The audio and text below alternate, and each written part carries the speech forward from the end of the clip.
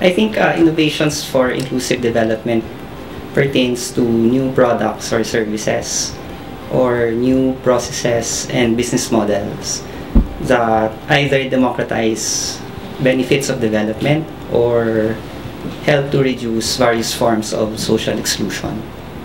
Innovation for inclusive development for me or for our country is new paradigm when uh, where, where the innovation have to be promoted in two ways for the people and by the people. So far, the innovation uh, only uh, done through one direction, from the innovator, uh, innovators to the communities. It has to be uh, improved.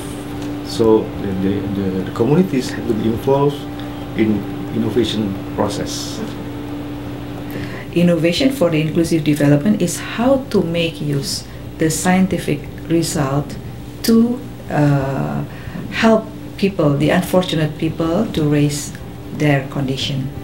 Well, I believe that innovation for inclusive development includes all products or processes for the marginalized people and of course all of the products and process you know, made by them also.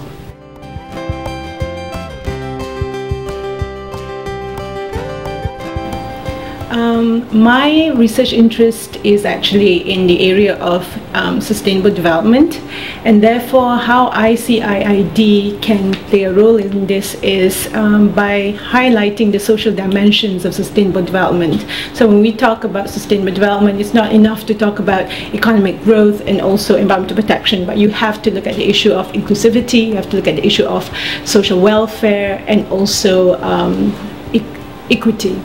Um, so I guess um, what I like to do is to highlight this issue of IID within this big umbrella of sustainable development.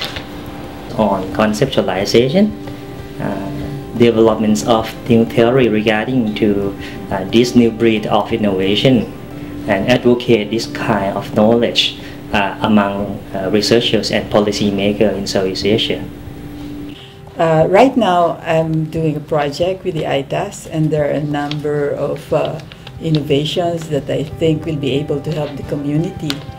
In addition, we are going to, uh, at NRCP, we are going to convince the researchers to use also the technology so this can be brought to the different regions of the Philippines.